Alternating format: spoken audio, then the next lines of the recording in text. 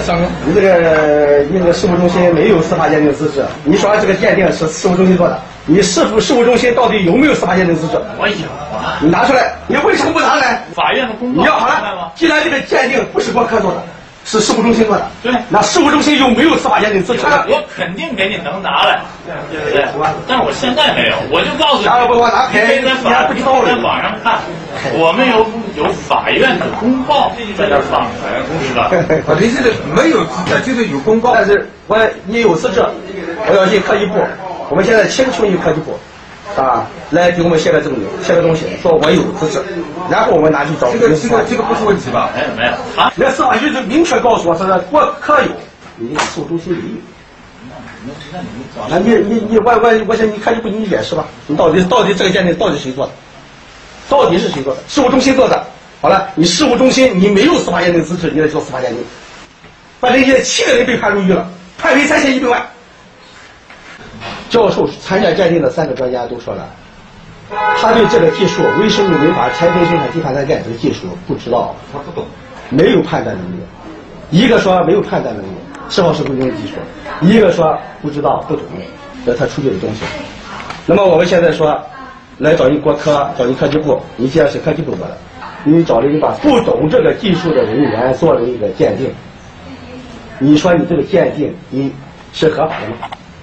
是有你这个种行为是有效的吗？这个是司法鉴定通则，这个讲的很清楚，啊，司法司法部法务人员。你也没有这个鉴定能力，你不得受理。对方委托人拿来的资料不完整，不得受理，是直接不允许受理。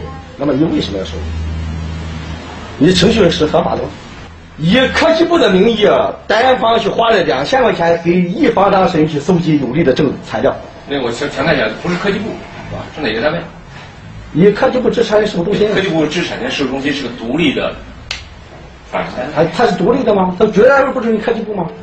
独立的，他应该把前面的科技部几个字就去是？吧？我跟你说，他这个资质来自于他的能力，他的能力在哪里？他的依法，他的依据法律。发甲酸就是维生素，是不是？啊？我这技术这个技术。这皮实那开玩笑了，我得哎办法。我你你呀你是办人这关的事，把人家害成这个样了，还有要求别人来尊重你，还得还得去要先生，这么出脸人呢？啊！我铁路呢，这么出脸直，接数在这里。你说呢？这个物质，你说呢？我说的，说什么呢？我说的，你说呢？啊，像那个，那个是我说的？我告诉你，我当流氓的时候，你还不知道在哪儿呢。你咱们把话说开了。零七年，零七年鉴定，你们是了解法院问题。零九年判决，两年时间你们不闹，你们干什么去了？啊我就是说，你们为什么不早闹，现在来闹来了？哦，我三千一百万，对不对？让他说了说没用，让他说对不对？，那三千一百万拿住了你了吧？那和我们有什么关系啊？我们就是做的鉴定啊！你们判决我们哪儿知道啊？你们闹什么？闹什么？就是你的判定，方唐的判定。这个黑道上也不是这么干事儿吧这？个杨凌群，哎呦，我天哪！你杨凌道上的事儿群，你的吗？杨杨凌群，你的脸皮够厚的。我厚什么？我不在乎，我不怕。我也是什么苦出身，我不怕你们这一套。哦，你干什么呀？他本来就流氓出身呀，那没办法。对呀、本来就是流氓出身。哎，我们老百姓什么都不懂，你的流氓出身谁懂啊？原来是流氓出身。说开了啊，咱们就说开了。是共产党员吗？我问你，你是共产党员吗？那个刚才我刚才我刚才当然是。哦，流氓出身也可以入党。流氓可以。中氓出身央电视台在隔壁，这个流氓出身流氓出身还有改邪归正的时候吗？你们说这些人没有，让他说我走提出来的东西，你大会大会主事呢啊？对吧？所有的问题你答不上来，哎，说说不上来，你慢慢解释吧，是吧？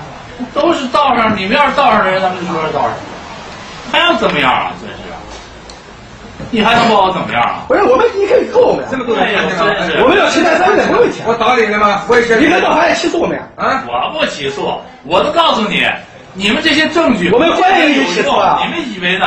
上一次就就就就就白坐牢，这一次还不知道怎么样呢？那我我那那那我再坐好了。不是再做吧？你这个，你这个就是说，咱们这事儿说开了，对吧？你录就录，没关系，你放到网上更好。我不在乎这些事儿，你们闹吧。你你你谁在乎。